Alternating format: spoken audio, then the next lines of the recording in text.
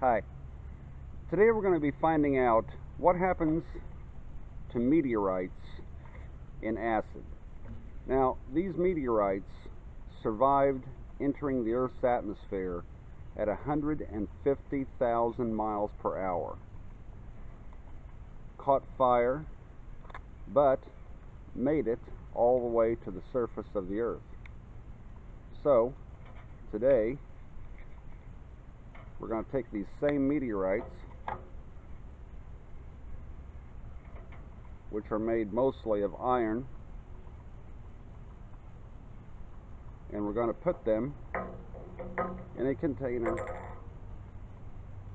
and pour acid on top of them. Now these meteorites came from an area in space called the asteroid belt, which is between Mars and Jupiter. See what happens here.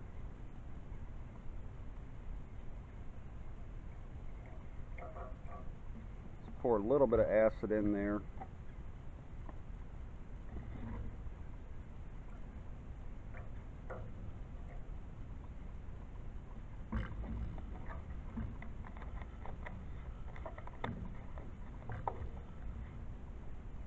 Give it some time to react.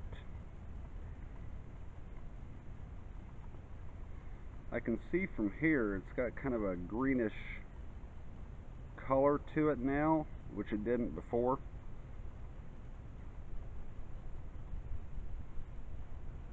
And there are some bubbles starting to come up from the meteorites, which I, I would assume is high, uh, hydrogen.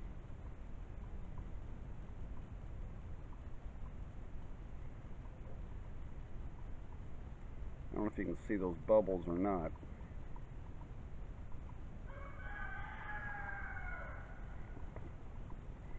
See if I can get it a little closer here.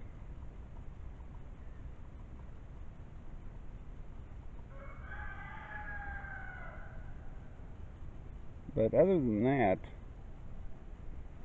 it doesn't appear, and I don't know if you can see the green color or not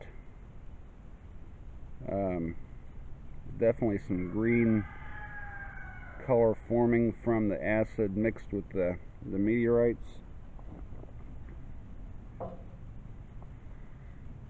Other than that, it doesn't appear that much is happening to the meteorites from the acid. Uh, the entire meteorites are covered in bubbles right now, which uh, like I said before, I would assume that is hydrogen forming. Um, and the longer I let them set, the more bubbles seem to be coming up from the meteorites.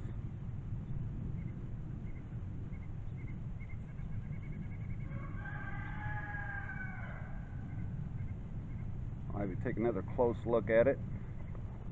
You can see hopefully how many bubbles are coming up.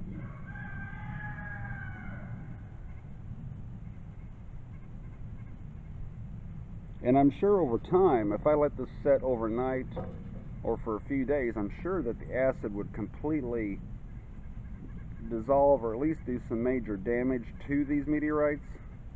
But it's not causing a violent chemical reaction as one would expect. Thanks for watching. Don't forget to subscribe. And I'll see you next time.